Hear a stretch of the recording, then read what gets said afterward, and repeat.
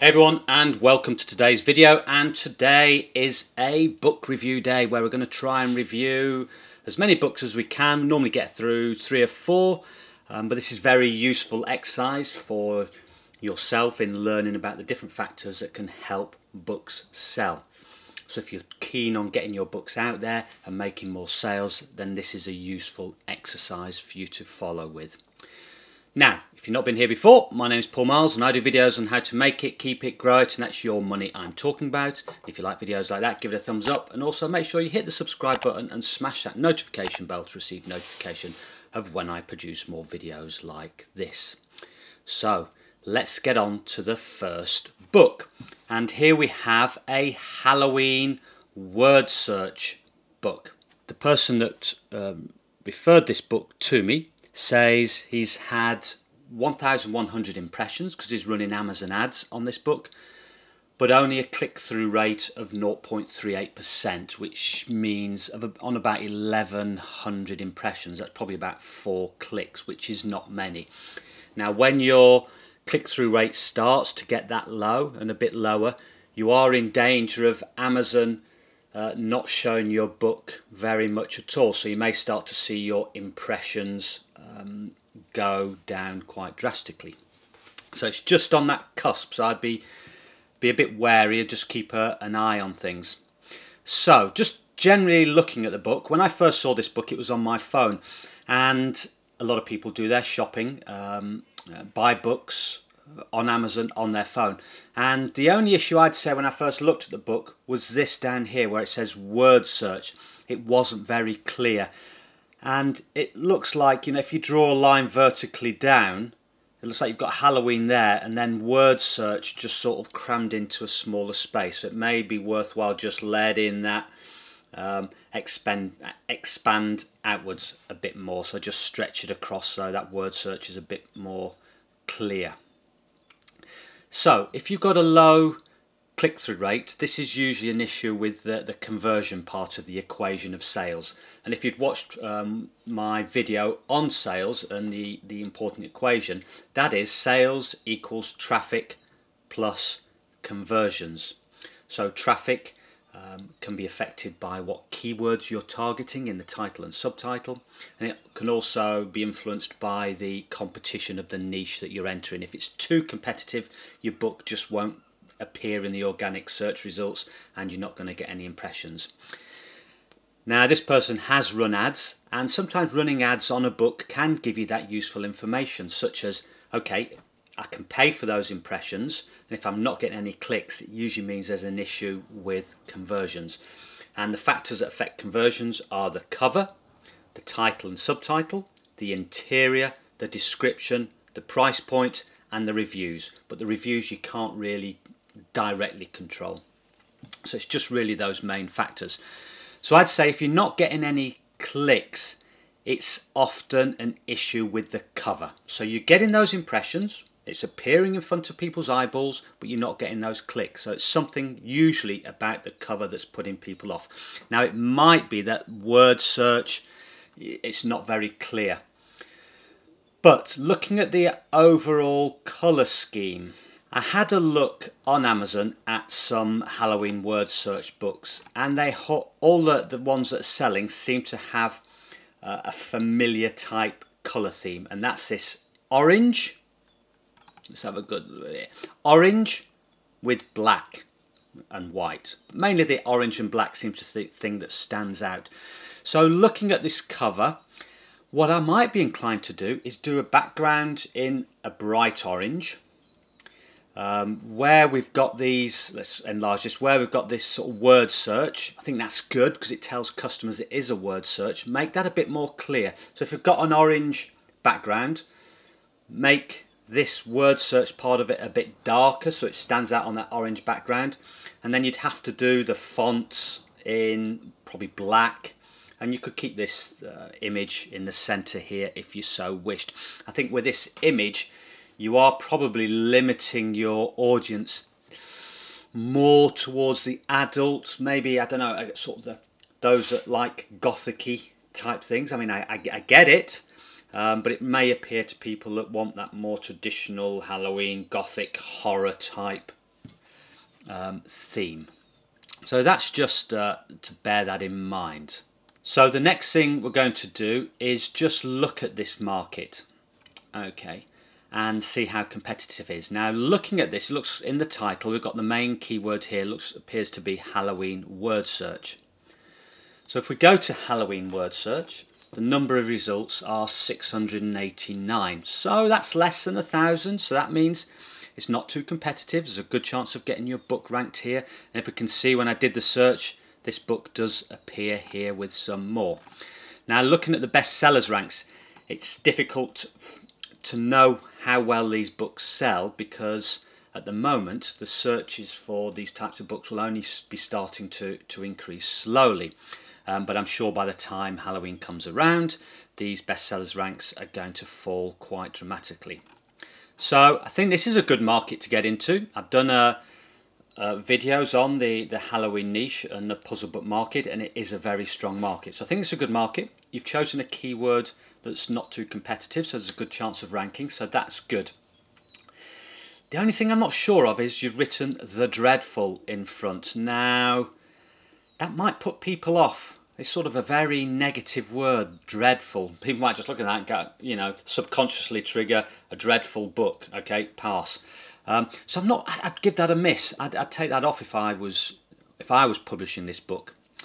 And if we look at the subtitle, we've got a spooky holiday word search and Halloween trivia for teens and adults. Now, I'm not sure if this would be classed as a trivia book because it is word search. Trivia books uh, are more quiz type books. Now, I don't know if you've got any sort of quizzes in here, but um, I don't think so. But you're targeting holiday word search here. Now, I did go and have a look at holiday word search and a lot of the books that appear, you've got this book here in the ads, but a lot of the books that appear are for the holiday season, which is more traditionally the, the Christmas season.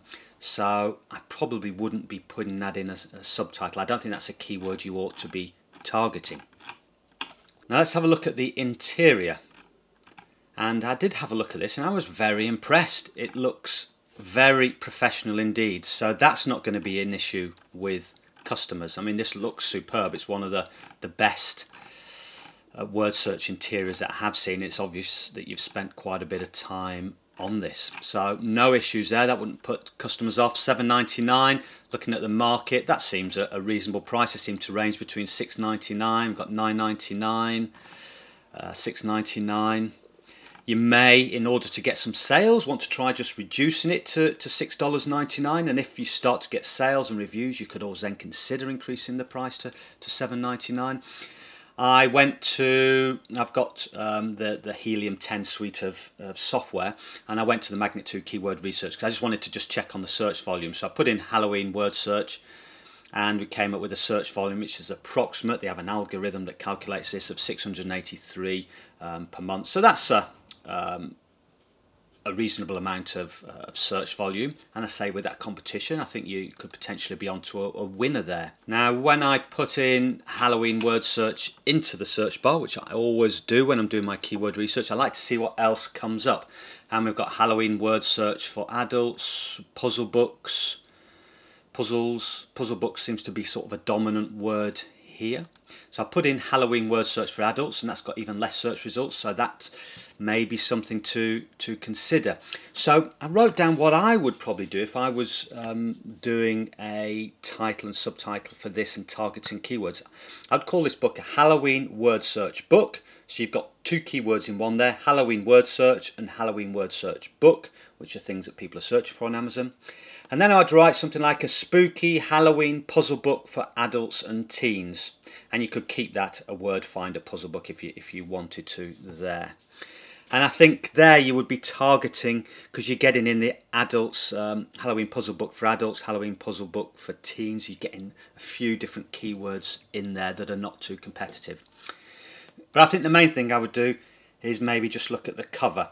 Now you can, you know, even if you're running ads, you can experiment because you can just upload different covers, see what works, if they um, affect your um, conversions, your click-through rates. If you, I say, if you are doing the ads, if you're not, you can just change the the cover and see if you start getting sales. I've certainly done that on some of my books. So maybe just try a different cover, see if you can um, improve that click-through rate. But overall, I think you are onto a, a winner here. Now, the next book we come to is this one, which is the Easter Fun Colouring Book, Cute Images for Girls and Boys to Colour In. So it looks like the main keyword here would be Easter Fun Colouring Book. I'm not sure if that's a keyword that's been searched for, so let's go and have a look. So if we put in Easter, then fun, uh, no, colouring, no. So that's not coming up. So Easter fun colouring book doesn't look like it's a, a, particular keyword that's being searched, but I'm sure Easter colouring book would be. Yeah. And if we look here, we've got, um, just go back a step, Easter colouring book. We've got 1,300 uh, monthly Google searches, which is good. So now let's do our search. And we've got 3,000 results. So that would be a bit competitive. I prefer to target keywords with 1000 results or less. And so this would be too competitive for, for my likes unless I was running ads on the book. So that might be a reason why you're not getting the, the traffic that you want to see in order to get those sales. The cover, there's quite a lot of images on there. It doesn't look too bad, but quite a lot of images. I'd probably simplify it a little bit. Um, enlarge colouring book, make it more clearer. So when people are looking on their phone and searching it, it does pop out as uh, an Easter colouring book, get rid of the word fun. Now there is an issue with your subtitle here in that your commas aren't really in the right place and your capitalisation is is incorrect as well which can put customers off. It's sort of I guess it's a, a subconscious type thing. And you're not really targeting any keywords here at all. You just got cute images. Again, people wouldn't be searching for that.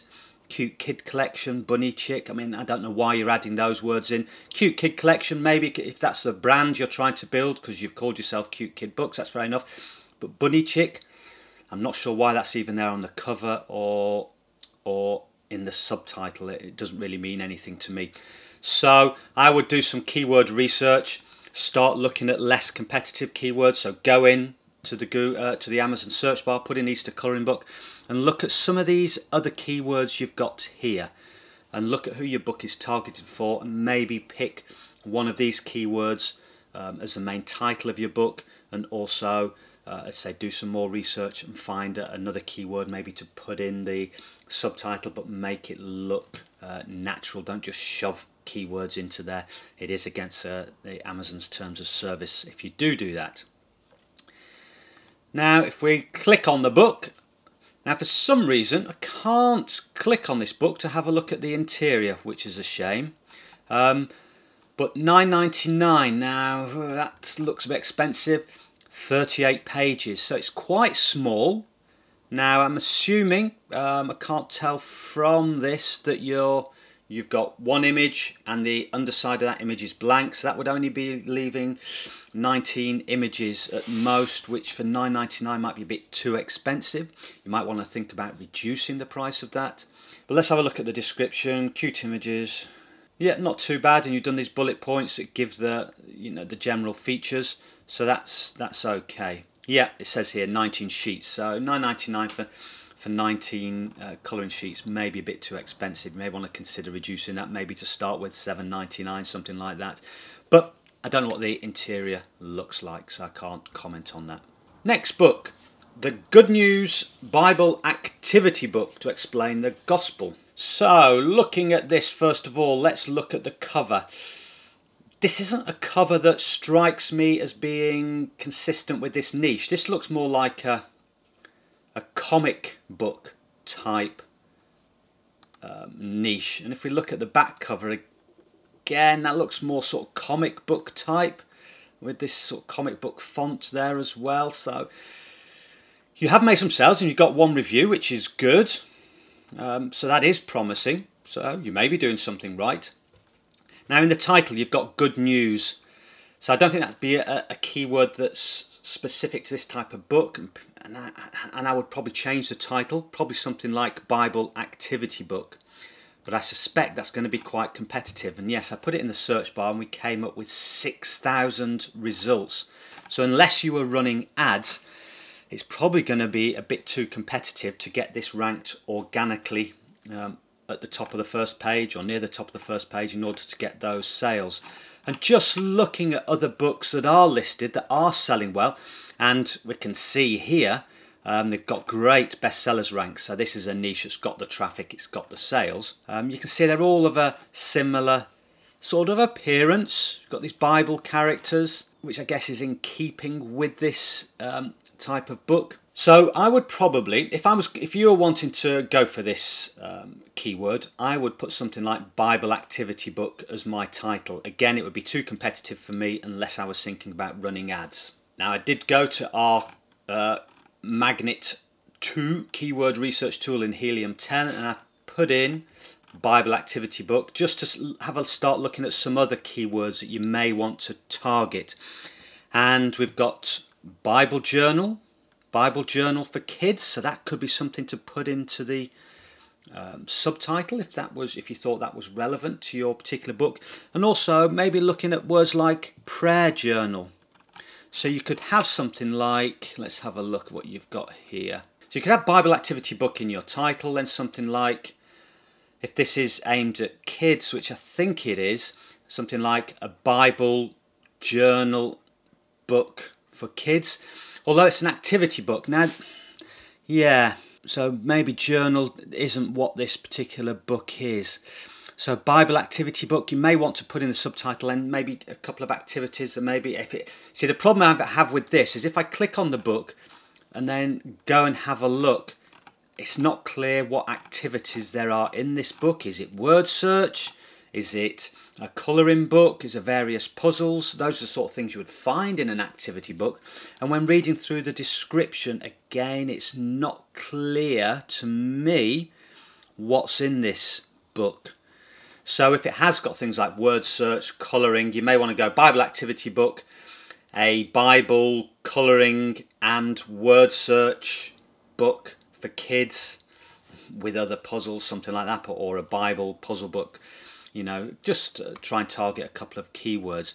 And maybe in the description do just a bulleted list of the activities that are in this book. Uh, maybe it's because I haven't read it thoroughly although uh, oh we've got here um, okay making comics to word scramble. So that's maybe why you've got the comic cover but it's not obvious. And I would still maybe change the, the cover. But overall, not too bad. I think we've got time for one more quick one. And this is a calorie counter meal planner logbook journal for weight loss and for diabetic. Now looking at the cover, it looks a bit bland. I prefer something a bit brighter, maybe these fruits in colours. And the font is not clear even on my computer.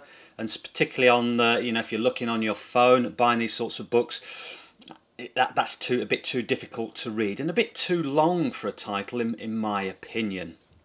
And to be honest, with this title, it looks like you're trying to cram too many keywords in there. Now you're getting calorie counter and meal planner. Now, as far as I'm concerned, they're two different types of books. Maybe they're combined in this book. But it sounds like, you know, if you're looking at the subtitle, weight loss and for diabetic, I mean, that doesn't make sense and you've lost your capitalization there. So, you know, for weight loss and diabetic, that just doesn't make sense. So you need to change that. So let's have a look inside the book to see what it actually is all about. And we've got a weight chart, so this looks like it is more regards weight. And we've got this calorie counter. So calorie counter where you write in your foods and the calories. Now as I scroll through, that's all we seem to have. And yeah, as it says here, 112 pages of calorie counter. It's not very good. I mean, that description at the back puts me off. 112 pages of calorie counter for day wise record. I mean, that's, you know, it's not proper English. You need to check that in Grammarly. Okay, so this book isn't a meal planner. Okay, so you need to get rid of meal planner because someone might buy this, find out it's not a meal planner. Because a meal planner is literally where you're writing down your meals and you're planning them. This is a calorie counter, so you may get someone that buys this thinking it is a meal planner. It's not, leaving you a negative review which could harm the sales of your book. Now you've got it at $7.99, probably is a bit expensive for this type of book. Uh, looking at the interior, I'd probably change that to $6.99. I would call it a calorie counter logbook. Let's just have a quick look at some keywords related to that. So if you put in calorie counter, calorie counter book, let's see if we've got logbook. Calorie counter logbook is there. Let's just have a look at the competition. 248 results. Okay, not um, too competitive. So that's something you could um, rank for.